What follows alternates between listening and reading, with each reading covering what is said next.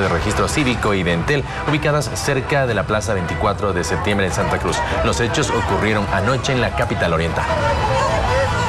Se han iniciado las investigaciones de oficio a través del Ministerio Público, pero también las partes, en este caso la presidenta del Tribunal Electoral Departamental y la directora del eh, Registro Civil, se van a constituir en parte civil. Necesariamente se tiene que individualizar e identificar a las personas que han participado. Lo que se tiene que hacer es eh, desdoblamiento de imágenes, revisar imágenes, eh, videos, fotografías, testimonios y una serie de actividades, actuaciones investigativas para poder determinar, como les digo, primero identificar e individualizar a las personas que han participado.